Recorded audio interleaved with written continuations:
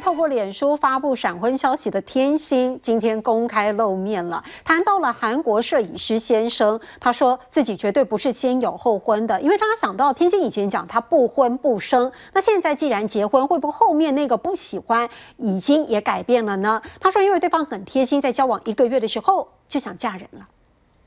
天心一身黑衣皮裤，紧身装扮，展现好身材，也用服装证明真的没有怀孕，否认带球假的传闻。贵单位以为我怀孕了，没有没有没有，我就说我追赶跑跳碰，样样都可以自己来。就连剧组都以为天心有孕在身，不敢让她太操劳。毕竟过去曾说不婚不生的她，突然宣布闪婚，让不少人吓了一跳。我认识他第一个月的时候，我就蛮想嫁给他了，感觉到这个男生是。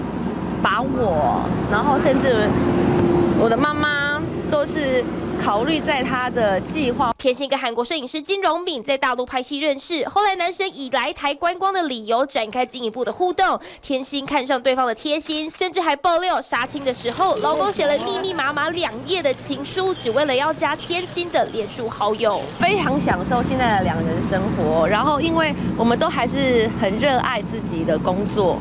对，然后呃，就是我还是做我的演员，他去做他的摄影师，然后大家互相配合。